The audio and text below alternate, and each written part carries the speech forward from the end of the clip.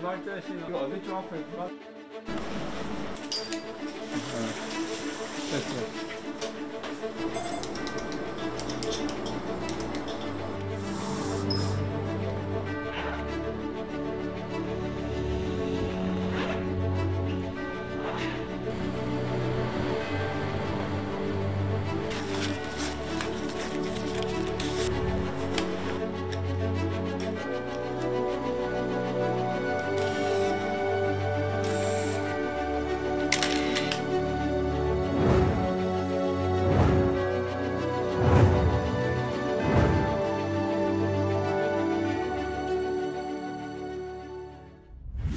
안녕하십니까. 사진 찍는 의사 내과 전문의 최올락입니다.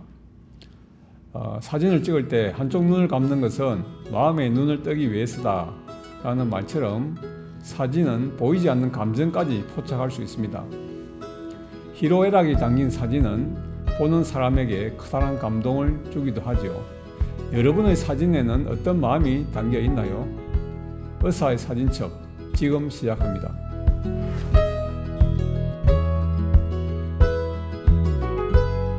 오늘의 주제는 메멘토 모리입니다. 여러분은 혹시 메멘토 모리의 뜻을 아시나요? 자신이 죽는다는 사실을 기억하라는 뜻의 라틴어인데요. 죽음은 누구도 피할 수 없는 필연적 삶의 과정이자 완성이기에 죽음을 바로 알아야 지금의 삶을 더 항유할 수 있습니다. 그래서 오늘은 돌아가신 제 아버지의 사진을 보여드리려고 합니다. 아버지가 돌아가시기 전에 6, 7년 동안의 모습을 담았는데요. 이 사진을 보면서 죽음이란 무엇인지 그 의미에 대해서 생각해 보는 시간이 되기를 바랍니다. 왜 아버지 사진을 찍게 되셨나요? 어, 저는 내과 의사가 되기까지 아버지와 오랜 세월 멀리 떨어져 살았는데요. 어느 날 문득 연로하신 아버지의 모습이 눈에 보이기 시작하였고 언젠가 잊혀질 고향과 내 곁을 떠나갈 아버지를 사진으로 담아야겠다는 생각에 어, 틈만 나면 사진을 찍기 위해서 90세가 넘는 아버지에게 달려가게 되었습니다.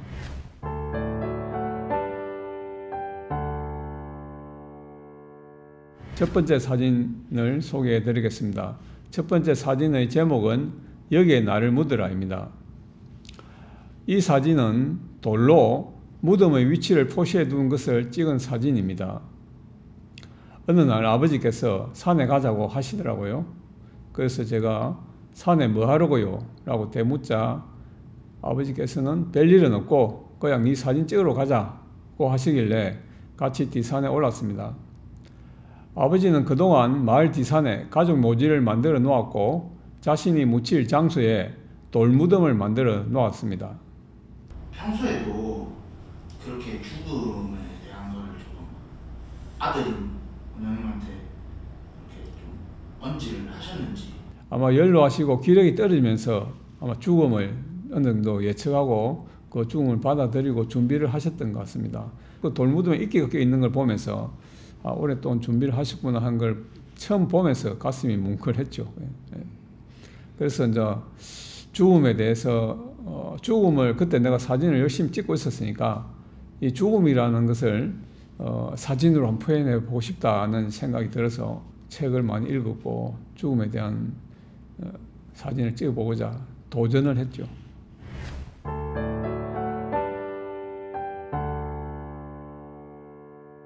두 번째 사진을 소개하겠습니다. 어, 두 번째 사진의 제목은 무덤의 방향은 저 앞산이다 입니다. 이 사진은 아버지의 뒷모습과 먼 산을 배경으로 찍었습니다. 아버지와 저는 자주 가족 모주인 뒷산에 올라가게 되었고 음, 그때마다 아버지께서는 여기에 나를 묻고 저기에 네 어미를 묻으라 하시면서 이미 만들어 놓은 돌무덤에 앉으면서 무덤의 방향은 저 앞산이다. 여기에 나를 묻고 저기에 네 어미를 묻으라 라고 반복하고 또 반복했습니다. 그 순간 커다랗던 아버지가 작게 보이기 시작한 순간이었습니다. 그때 앞에 보이는 산봉우리와 아버지의 뒷모습을 사진 속에 넣어서 찍었습니다. 아버지 뒷모습이 등 뒤가 뒷모습이 좀 작아 보인다라고 말씀하셨는데 그때 좀 심정은 어땠어요? 어, 아버지라는 존재는 어릴 때부터 큰 산과 같잖아요. 누구에게나 우리가 어릴 때는 뭐 어머니의 젖을 먹고 자라야 되고 그 어머니 젖이 없으면 어린 아이는 생존할 수가 없는 거죠. 동물이라는 것은.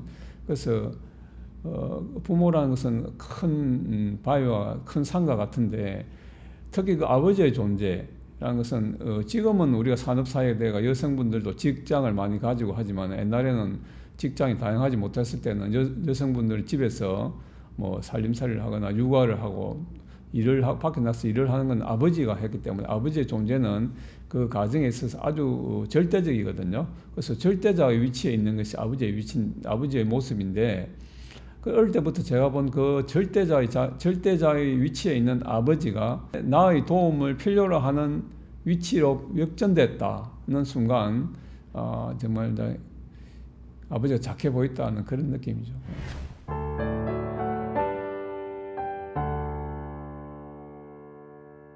아버지가 요양병원에 입원해 계시다가 외출을 하셔서 집에 오셨을 때의 사진입니다. 사진 앞에 희미한 부분이 아버지의 뒷모습이고 음, 사진 저 안쪽에 사진 속의 사진에는 박사 학위모를 쓴 저와 아버지가 보이고 조그만 손녀가 있는데요. 제가 박사 학위를 받을 때 기념으로 찍은 가족 사진입니다. 아버지께서는 제가 박사 학위를 받을 때 가족 사진을 보시고는 한참 중얼중얼했습니다. 가까이 가서 들어보니까 이 가정에 행운이 가득하고 자손이 잘 되고 번창하도록 해달라고 뭐 주문을 하고 있는 것 같았습니다. 죽음을 눈앞에 두고 후손을 걱정하고 배려하는 마음에 어, 많이 놀랐습니다. 기도를 하시는 사이에 아버지에 대해서 아버지와 사진 속 아버지의 모습이 함께 나오도록 찍었습니다. 그 여기에 나를 묻어라 저기에 네 어미를 묻어라 하고 어, 죽음을 앞두고 뭔가 내, 내, 내 한테 의지하는 듯한 모습에서는 작아 보였지만은 이렇게 죽음을 앞두고 어, 다른 사람을 배려하고 후손을 배려하고 하는 모습에서는 또다시 커다란 바위 큰 바위 같은 느낌을 받았고 나는 과연 죽음을 앞두고 이렇게 내 몸의 고통에 시달리는 내 몸의 고통에서 벗어나서 과연 후손을 생각할 수 있을까 하는 그런 생각이 들었습니다. 예, 아버지가 그 요양병원에 계셨는데 음, 요양병원에 대해서는 어, 정말 요양병원이 그때 막 처음 생겼던 것 같습니다. 어, 제가 막 의대를 졸업하고 대학병원에서 어, 인턴 수련을 하던 1980년대에는 모든 사람들은 객사를 하면 안 된다는 생각을 가지고 있었습니다. 그래서 병원에 입원해 있다가도 죽기 직전에는 인턴 의사가 동반해서 앰뷸런스에 환자를 태우고 앰뷸런스 안에서 인공호흡을 시키면서 집에 가서 인공호흡을 중단시키고 그분이 살던 방에서 딱 눕혀서 사망 선고를 했거든요. 평소에 자신이 거처하던 자기 방에서 죽음을 맞이하게 해드리는 것이 자손의 도리이고 효도하는 것이라고 생각했죠. 그래서 만약에 집 밖에서 죽는 객사는 뷰로라고 생각했습니다. 만약에 객사를 하게 되면은 어, 보호자가 없는 시신은 시립병원에 안치되어서 보호자를 기다리고 있는 것이 보통의 관례였습니다. 그런데 그것이 어느 순간부터 죽음을 병원에서 맞이하고 시신은 영안실로 가고 장례는 집에서가 아니라 장례식장에서 하는 장례 문화로 너무 쉽게 변한 과정을 저는 보면서 참 우리 왜 이렇게 우리의 장례 문화가 이렇게 쉽게 변했을까 항상 의구심을 가지고 있었습니다.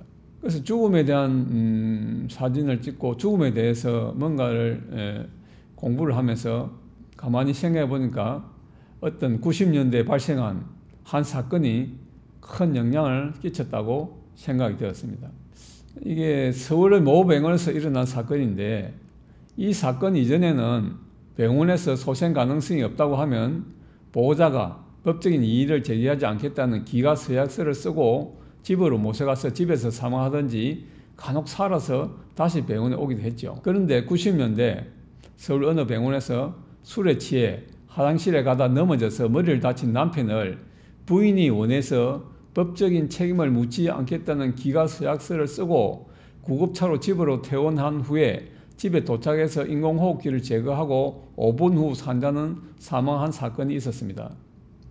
그 후 시어머니 되는 분이 퇴원하지 않고 병원에서 치료했으면 살았을 것인데 왜 퇴원시켰냐고 며느리를 고발한 사건인데 대법원 판결을 통해서 환자의 퇴원에 관계한 해당 병원 의사들도 살인 방조죄로 전부 처벌을 받게 되었습니다. 그 이후로 병원에서는 소생 가능성이 없는 환자라도 사망할 때까지 퇴원 허가를 하지 않게 되면서 병원에서 사망하고 시신은 영안실로 모시게 되면서 우리의 장내 문화에 엄청난 변화가 오고 우리는 대부분 집에서 죽지 못하고 객사를 하게 되지 않았나 저의 나름대로 생각을 해봤습니다. 그리고 요양병원과 관련된 에피소드 하나를 더 이야기해 보자면 어떤 할머니 환자분이 저에게 치료를 받고 갑자기 목 놓아 울면서 저를 붙잡고 이야기를 해서 제가 당황했던 기억이 있습니다. 선생님, 저는 이제 요양병원 갑니다. 내 집에서 날마다 듣고 잠들었던 정든 이불, 정든 베개 다 버리고 요양병원 갑니다. 이제 요양병원 가서 요양병원 베개 베고 요양병원 이불 듣고 자야 합니다. 그동안 진료받았던 선생님하고도 마지막입니다. 하시면서 엉엉 우시다가 떠나셨던 기억이 있습니다. 그때만 해도 요양병원 간다는 것은 뭐 지금도 그런가 모르겠지만 죽음을 맞이하러 간다, 죽으러 간다는 그런 좀 좋지 않은 인식이 초창에 많이 있었죠. 그래서 저도 아버지를 집에서 죽음을 맞이하게 해드리지 못하고 요양병원에서 죽음을 맞이하게 해드려서 항상 제스러움을 가지고 있습니다. 앞서 말씀드린 서울의 모 병원 사건 이후로 소생 가능성이 없는 환자가 식물 인간이 되어서도 의미 없는 연맹 치료를 꼭 해야 하는가에 대한 비판 여론이 형성되면서 인간으로서의 최소한의 존엄과 품위를 유지하며 죽음을 맞이하는 존엄사 논의도 활발해졌습니다. 지금은 연맹치료 거부 신청을 미리 해두면 연맹치료 없이 인간다운 죽음을 맞이할 수 있게 되어 있습니다. 우리는 살다가 언젠가는 이별을 해야겠지요. 따라서 한 번쯤 죽음에 대해 생각해 보는 것도 나쁘지는 않다고 생각됩니다.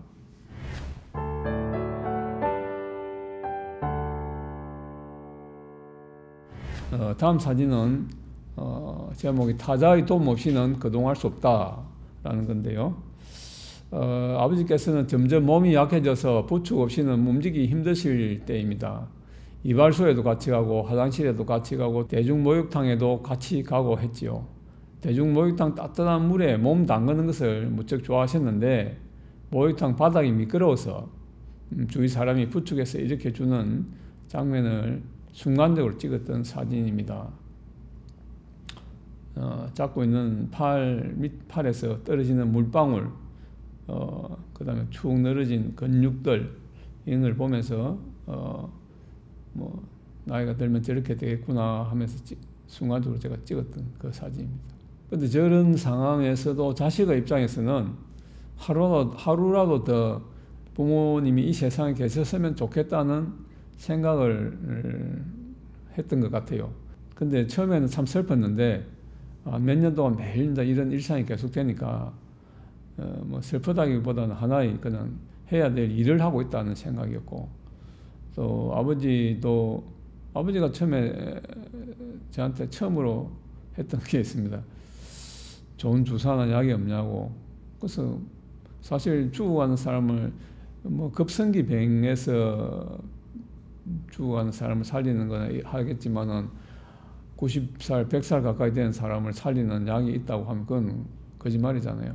그래서 아버지한테 있다고 말할 수도 없고 없다고 말할 수 없고 해서 가만히 있었던 대답을 안 하고 가만히 있었던 적이 있는데 그때 참 어, 아버지한테 미안했죠. 뭐 내가 도와줄 수 있는 게 없을 때 죽으면 남이 대신할 수 없다라는 그 말을 참 그때 실감했어요.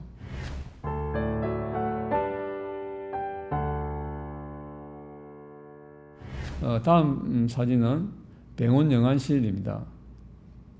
2012년 2월에 아버지가 돌아가셨습니다. 죽음이라는 절대적 숭고 앞에 카메라를 들이댄다는 것에 대한 거부감, 두려움 등이 있었지만 생전에 아버지는 나의 카메라를 허용하셨기 때문에 저 세상에서도 나의 사진 찍는 행위를 허용해 주실 거라고 생각하면서 아버지의 죽음 전 과정을 사진으로 찍었습니다. 물론 주위에 있는 가족들도 다 이해를 했고 영정사진과 주변의 꽃들 그리고 불타고 있는 향불을 보면서 메멘토 모리 즉 우리는 모두 죽는다라는 것을 잠시라도 생각해 보자는 뜻에서 어, 저런 장면을 찍었습니다. 물론 아버지가 염하는 장면, 그 다음에 시인을 이제 염하는 장면, 그 다음에 모든 그 과정을 다 사진으로 찍었고, 내가 찍는 것을 내 주위 사람들도 다 이해를 했고, 그러면서 모든 과정이 다 사진으로 담겨져 있습니다. 가슴이 많이 무거웠을 것 같은데 지금 당시에 물론 무거, 어, 무거운데 아버지가 돌아가신다는 것은 사실은 생각을 해보지 못했고 커다란 충격이었죠. 근데 막상 음, 돌아가시고 나니까 또 그 장례식장에서의 뭐 손님을 맞이한다 그 장례 절차라는 게 참 필요한 것 같아요. 어떤 그 장례 절차를 하기 위해서 또 좀 신경도 쓰고 이런 일 저런 일 하다 보면은 그 어떤 슬픔이 잠시 또 자비에 묻혀버리는 것 같아서 그래서 그래서 장례 절차가 필요한가 보다 하는 그런 생각도 했습니다. 예. 그냥 묻어버리면 끝인데 그 과정에 이제 정, 절차라는 게 있는데 그 절차는 어, 죽은 사람을 생각하는 것도 있지만 산 사람이 현실에 적응해가는 과정도 있지 않을까 하는 그런 생각이었습니다.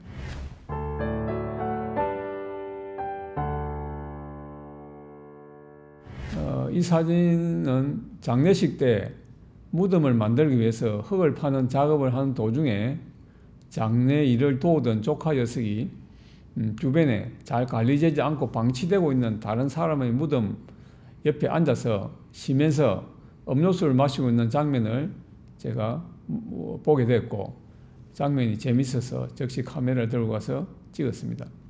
무덤 속에는 죽은 사람의 시체가 있기 때문에 무덤이란 무서운 장소로 생각되는데 죽은 사람의 무덤에 걸터 앉아서 살아있는 사람이 휴식을 취하는 그런 모습입니다.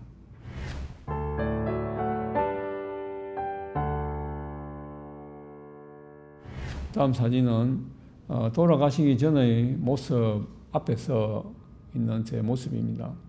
어, 어느 호텔에서 의학 강의가 끝나고 나서 어, 강의 때 사용했던 프로젝트를 통해서 아버지의 임종 직, 직전 모습을 비추어 놓고 음, 그 화면 앞에 제가 앉아서 아버지의 모습과 제 모습을 나오게 해서 아버지의 죽음을 통해서 언젠가 나에게도 닥칠 죽음을 생각해 보려고 했던 사진입니다. 그 사진들 쭉 이렇게 돌려보면 무슨 생각이 좀 드나요?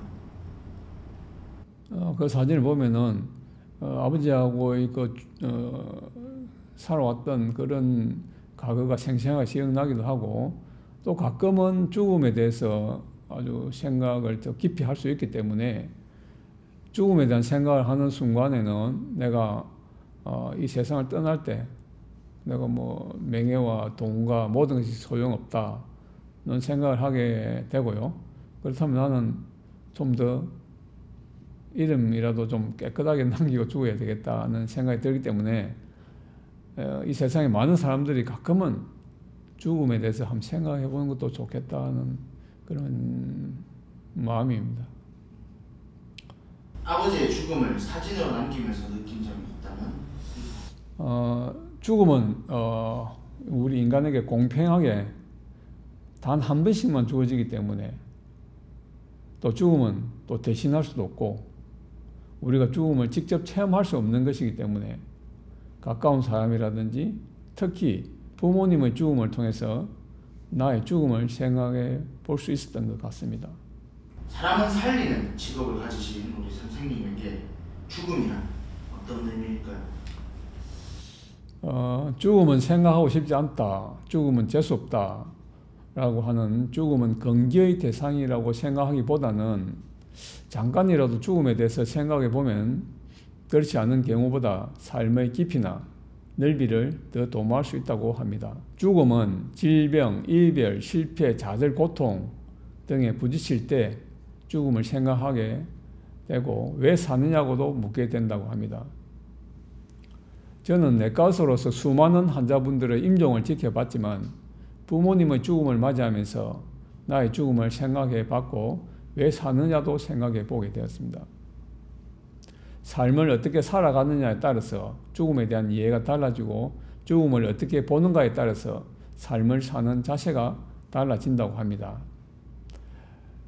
요즘 우리 사회는 요양병원 또 장례 문화가 옛날같이 많이 달라졌고 죽음은 바로 우리 주변에 있습니다.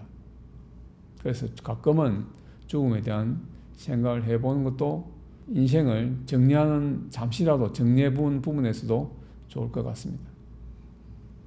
음, 오늘은 메멘토 모리라는 주제로 죽음을 이야기했습니다. 어, 누구나 태어나면 죽게 마련이죠. 그러나 우리는 너무나 당연한 이 말을 외면하면서 살고 있지는 않은가요? 소중한 존재의 죽음을 통해서 죽음에 대한 두려움과 마주하면서 죽음은 언제든지 나에게 닥쳐올 수 있다는 것을 깨닫는 것. 그리하여 진정한 내 삶의 의미를 되찾기를 바라봅니다. 의사의 사진첩은 다음 시간에 돌아오겠습니다. 감사합니다.